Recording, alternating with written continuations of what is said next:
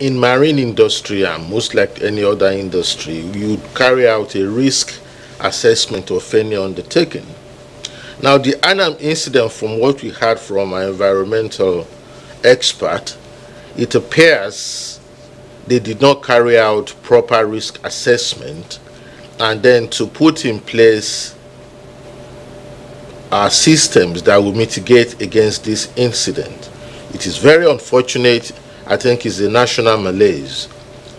I think that's, that should help us to put that in perspective because I don't understand why they will carry out such an undertaking without carrying out proper safety risk assessment.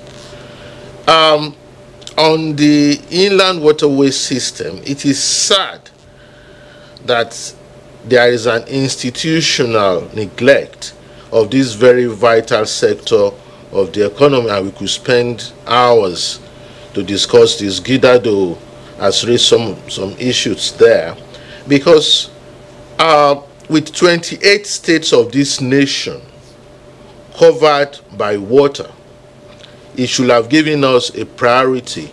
We should have put more attention into the inland waterway system. Uh, in your introduction, you said that Mr. President set up uh, a commission or a committee to look at the safety issues. Again, that is part of the usurpation of the positions of some of our institutions. And that is what inland waterways is suffering. The laws made it clear who is responsible for activities at sea up to the uh, breakwater.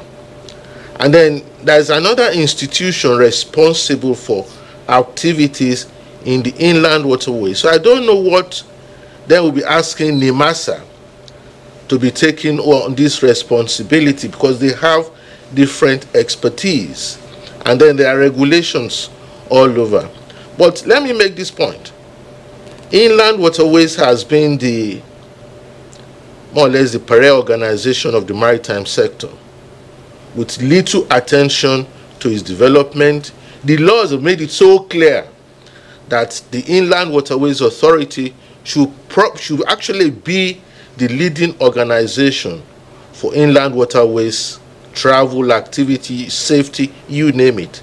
But unfortunately, over the years, not only has it been neglected, other organizations have taken over their responsibility. We even hear Lagos State taking over some of their responsibility until recently that the Supreme Court ruled over it. So we cannot have that state to prevail and then we expect things to continue. Now, in terms of safety of life, I mean, I heard somebody saying that it's not increasing. With our population increasing to over 200 million, you expect the figures to rise and then you expect us to have prepared for this. One of the issues of inland waterways travel that has been neglected over the years is the navigational safety. Unfortunately, on our waters, the navigational equipment are not there. The routes, it's like if you say somebody is driving and blindfolded, what do you expect to happen? Of course, he's going to crash. So, but the inland waterways, if you all, all you see, you see the water. Do you know what is underneath the water? And that's why in better climes you have navigational channels. You put navigational equipments there so that those who travel on the water and those who navigate those boats, they will know which route to take.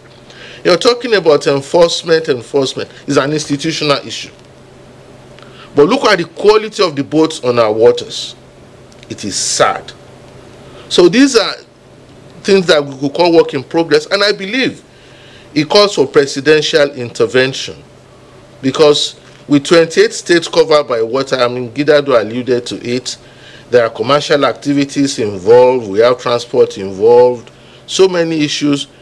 The, our colonial masters saw the importance of the inland waterways and they made it to sure that it contributed to the development of Nigeria why have we neglected inland waterways to the extent that people are dying? Let me add quickly.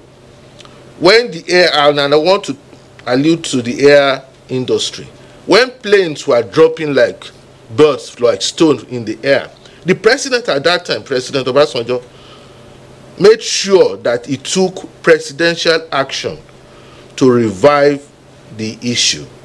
I think at this point now we need a presidential intervention, not only to salvage our inland waterways for the development of this economy, but for to ensure safety of lives. We see different agents now jumping into the inland waterways area, carrying out various activities to the neglect of the uh, prime organization responsible to this. These are critical issues.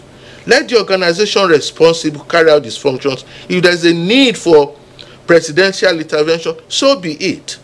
And then let the organization that do not have any need to be there, let them move away from there. Let us empower the Inland Waterways Authority. If they are failing, we will ask them questions. But I think I, let's give other people time to react.